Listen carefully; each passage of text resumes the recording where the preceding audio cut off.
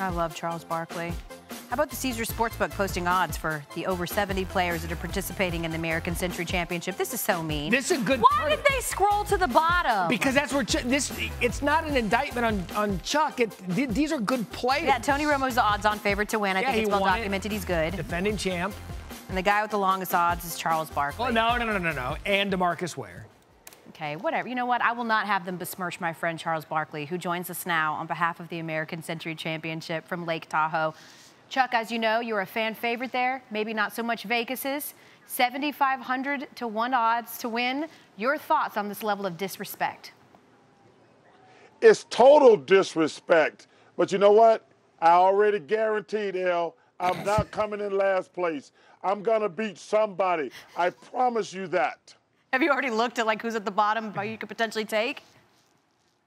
Well, I haven't. so- Well, we just finished our round, so I got to see what DeMarcus Ware is. He's the one guy I know that I'm better than. So I got to see some scores before I get overconfident.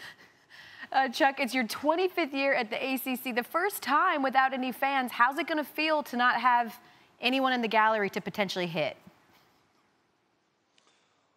Well, that's probably one of the reasons I enjoy playing golf. I get to hit fans. You know, there's some fans deserve to be hit. I'm gonna miss doing that. Uh, you know what, Elle? Uh, sports are gonna suck in general without fans. The fans are an integral part. They're important. They're significant. They give you energy at times when you know when you're exhausted. Sometimes they're giving you such a hard time. They get they make you play better. Sports in general, not just here, is gonna suck without fans. But that's the new normal we're living in, and and I don't see anytime soon where we're gonna have a bunch of fans, and that's really gonna suck for the players too. Yeah, and I imagine it's going to be eerie as you're calling these NBA games. Players, of course, arriving in the bubble in the midst of soaring COVID numbers in Florida, and MLS teams being infected while in their own bubble in Orlando. Chuck, what do you think of the effectiveness of the NBA's bubble restart? Well, you know, I, I personally don't think they should have started testing people until they got in the bubble. Uh, you know, because uh, that's what I personally think. Testing guys before they got to the bubble, that made zero sense whatsoever. We have about three weeks before the season starts. I thought when everybody got in the bubble, we should have started testing then. You know, Elle, listen, I love Adam Silver. I love the NBA. I don't see how this thing is gonna work, to be honest with you. You know, they want, they say 83 days, really three months.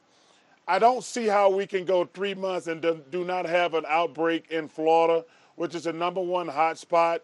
Now you got all these NBA teams, you got the WNBA, you got Major League Soccer. I just don't see how it's gonna work for three months, and I'm really, really scared for the NBA.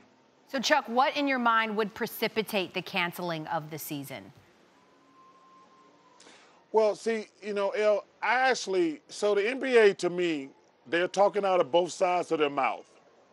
And what I mean by that is, you remember when Rudy Gobert tested positive? Mm-hmm. They quarantined Utah and Oklahoma City. Now they saying if a player tests positive, they're just going to take him out. I don't understand. If you uh, sequestered both teams when they tested positive last time, how can you only take one guy out who's been at practice in the hotel with his teammates and played against other NBA players? I don't. That doesn't make sense to me. Thanks for watching ESPN on YouTube. For live streaming sports and premium content, subscribe to ESPN Plus.